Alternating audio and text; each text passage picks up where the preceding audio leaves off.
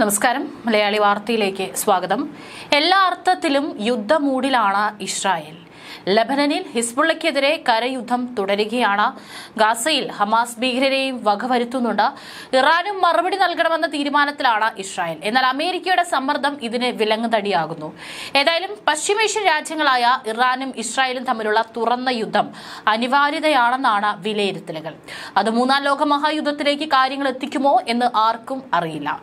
ആദ്യം സൈബർ ആക്രമണം പിന്നാലെ വ്യോമാക്രമണം കടലിൽ നിന്നും കരയിൽ നിന്നും മിസൈൽ അയക്കും. അതിനുശേഷം എണ്ണപ്പാടങ്ങൾ കത്തിക്കും. ഇങ്ങനെയാണ് ഇറാനിലെ ആക്രമണത്തിന് ഇസ്രായേൽ പദ്ധതി തയ്യാറാക്കുന്നത് എന്നുള്ള റിപ്പോർട്ടുകളാണ് പുറത്തുവരുന്നത് ഇതിനിടെ തിരിച്ചടിച്ച് ഇറാൻ പ്രകോപിപ്പിച്ചാൽ ആണവായുധ ശേഖരത്തിനുമേൽ ബോംബ് ബോംബാക്രമണവും ഇസ്രായേൽ പദ്ധതികളുണ്ട്.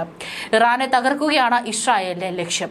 എന്നാൽ അമേരിക്കയുടെ സമ്മർദ്ദം മൂലം തിരിച്ചടി വൈകിപ്പിക്കുകയാണ്. പക്ഷേ അധിക സമയം ഇസ്രായേൽ കാത്തിരിക്കില്ല. മൂന്നാം ലോക മഹായുദ്ധത്തിലേക്ക് കാര്യങ്ങൾ എത്തുമോ എന്ന ആശങ്കയും സജീവമാണ്. ഹിസ്ബുള്ളക്കെതിരായ ഇസ്രായേലിന്റെ നീക്കങ്ങളിൽ ലോകരാജ്യങ്ങൾ ഒന്നടങ്കം ഞെട്ടിയിരുന്നു. പേജർ ആക്രമണത്തിലൂടെ ഹിസ്ബുള്ള കേന്ദ്രങ്ങളെ ഇസ്രായേൽ ആദ്യം വകവരുത്തി.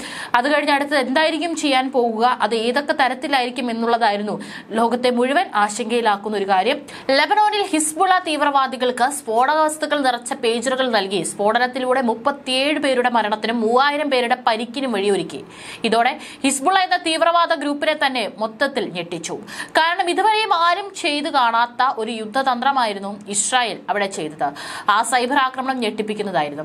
അതിനുശേഷം ലബനോനിൽ കരയുദ്ധം ആരംഭിച്ചു. അങ്ങനെ വലിയൊരു യുദ്ധതന്ത്രമാണ് ഇസ്രായേൽ അവിടെ ചെയ്തത്. ഇതിനെയും വെല്ലുന്ന പദ്ധതികൾ ഇറാനിലേക്കുള്ള ആക്രമണത്തിന് ഇസ്രായേൽ തയ്യാറാക്കിയിട്ടുണ്ട്. തെക്കൻ ലെബനനിലും ബെയ്റൂട്ടിലും പേജർ പൊട്ടിത്തെറിച്ചതോടെയാണ് ഹിസ്ബുള്ളയ്ക്കെതിരായ ആക്രമണം ഇസ്രായേൽ തുടങ്ങിയത്. ഹിസ്ബുള്ളയുടെ പേജറുകൾ വഴി സമാനമായ സ്ഫോടനങ്ങൾ ആരംഭിച്ചതിന് ഒരു ദിവസത്തിന് ശേഷം ഇസ്രായേലുമായുള്ള പിരിമുറുക്കം രൂക്ഷമാക്കി. ലബനനിലെ ആരോഗ്യ മന്ത്രാലയം ആദ്യം ഒരാൾ മരിച്ചതായും നൂറിലധികം പേർക്ക് പരിക്കേറ്റതായി റിപ്പോർട്ട് ചെയ്തു. അത് കഴിഞ്ഞ് കൊല്ലപ്പെട്ട ഹിസ്ബുൾ അംഗങ്ങളുടെ ശവസംസ്കാര ചടങ്ങിന് സമീപവും സ്ഫോടനങ്ങൾ നടന്നു.